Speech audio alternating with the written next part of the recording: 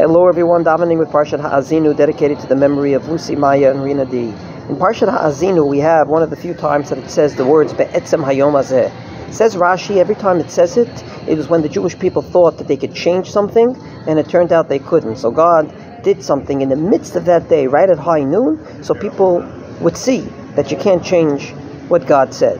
The first time is regarding the Mabul. People thought they can change the verdict of the flood. It turned out that God brought the flood at high noon, and they couldn't change it.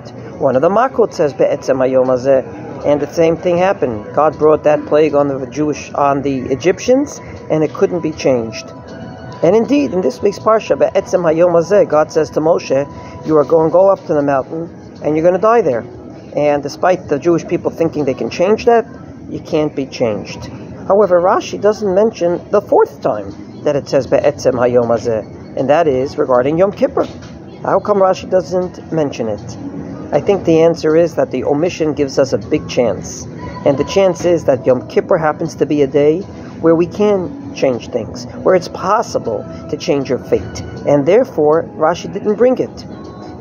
Yom Kippur is a day where you're not the same the day after as you were the day before.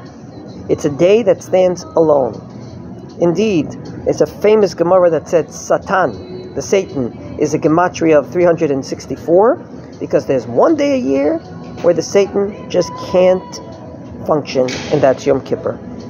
In my opinion, this gives us a huge chance in our davening to really transform ourselves uh, on Yom Kippur to become a different person. Indeed, when you try to become a different person, usually people berate you. You stop talking in shul, they'll say, Hey, where did you become from? However, if they do it on Yom Kippur, if you're a different person the day later, I'm pretty sure people would understand because they too were in Shul on Yom Kippur. Wishing everyone a Shabbat Shalom and a Gmar Chatima Tova.